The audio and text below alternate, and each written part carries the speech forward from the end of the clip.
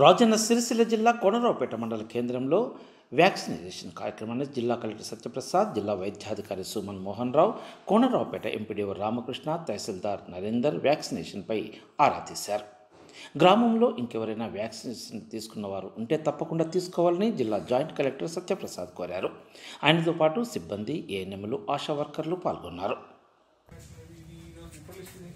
Second dose sir. ఇది ఇవాళ- already ఇవాళ due. already due sir. ఇవాళ తీసుకోవాలి సార్. ఈ రోజు అంటే లైక్ ఈ టూ త్రీ డేస్ తీసుకుంటారు వన్ డే కంటే ఎవ్రీ డే మారుతూ ఉంటుంది కదా అవును, every day మారుతుంటుంది అప్డేట్ ఒక అవుతుంది టెన్ డేస్ తీసుకుంటాం సార్ ఒక టూ త్రీ డేస్ కవర్ చేసిన తర్వాత మళ్ళీ టూ త్రీ డేస్ తర్వాత ఏదైనా దాదాపుగా నూట పంతొమ్మిది మంది ఉన్నారు సార్ సెకండ్ డోస్ తీసుకోవాల్సిన వాళ్ళు అంటే ఇక్కడ మెయిన్ హెడ్ క్వార్టర్స్ ఈ ఈ ఊర్లో కొండపల్లి. పంచాయత్ సెక్రటరీ నూట పంతొమ్మిది మంది టచ్ అయ్యారా ఇంకా అవ్వలేదా ఓకే ఫోన్ చేస్తే సరిపోతుంది కదా ఫోన్ చేస్తే మంది ఫోన్ చేస్తారు కదా ఎన్ని కావాలి మీరు కొంత ఇస్తారు అందులో ఫార్టీ